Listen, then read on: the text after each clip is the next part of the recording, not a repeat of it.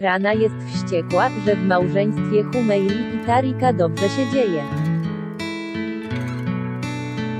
W 878 odcinku Elif postanawia postawić wszystko na jedną kartę.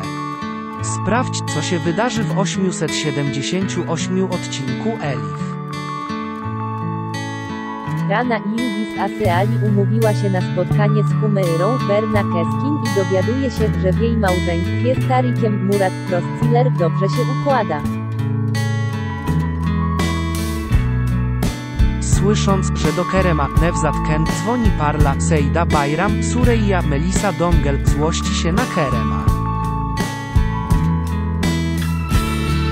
878 odcinku Elif Rana pragnie zadać Tarikowi ostateczny cios.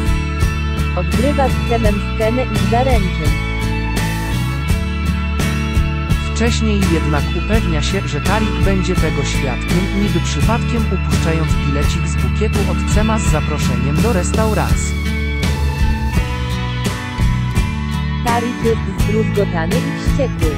Nie może uwierzyć, że Rana postanowiła spędzić życie z innym. Tymczasem Humeira szykuje się na romantyczną kolację z mężem, Kerem jest zdezorientowany i urażony zachowaniem Surey. Dziewczyna pragnie poprawić atmosferę między nimi i zostawia mu liścik z zaproszeniem do miejsca dzieciństwa.